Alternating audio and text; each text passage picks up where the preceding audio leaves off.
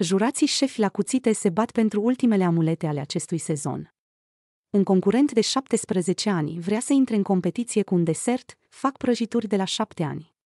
Începe săptămâna ultimelor amulete din sezonul 13 șefi la cuțite.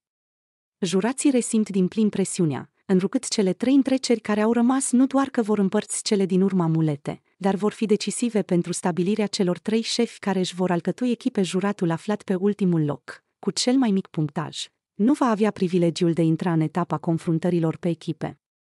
Cele mai mari emoții sunt pentru Chiaf Ștefan Popescu, situat pe ultimul loc în momentul de față.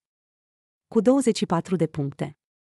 Kev Sautner conduce clasamentul cu 30 de puncte acumulate în luptele pentru amuletă, urmat de Kev Orlando și Kev Richard, fiecare cu 29 de puncte. Cât privește amuletele, Kev Sautner și Kev Richard au fiecare câte trei, iar Kev Orlando și Kev Ștefan, câte una.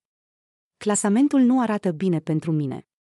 Așa că în seara aceasta e un fel de semifinală spre finală pentru mine. Acum se decid lucrurile și trebuie să mă mobilizez, a spus Chef Ștefan.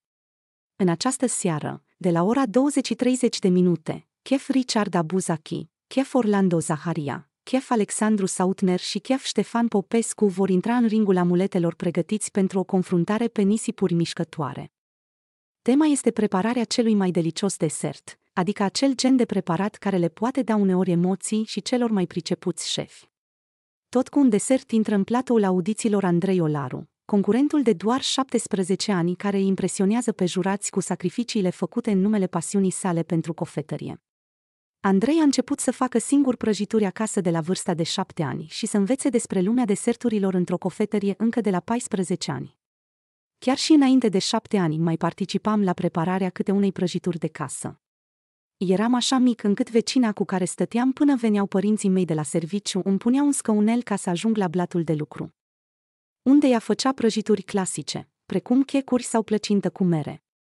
Apoi, de la 14 ani, am început să lucrez într-un laborator de cofetărie, în weekenduri și în vacanța de vară.